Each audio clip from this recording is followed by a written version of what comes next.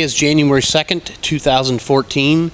We're in Santa Ana, California at the headquarters of Pure Aqua, and we've completed and we're preparing to ship a water treatment system to West Africa, uh, country of Ghana. Included in the shipment is a multimedia filter for reducing particulate. Incidentally, the feed water is from a well or borehole of about 6,000 ppm TDS. First step is multimedia filtration, followed by activated carbon for uh, reduction of organics and odor and taste. Uh, we have anti-scalant injection and then reverse osmosis system to produce up to 4,500 gallons per day.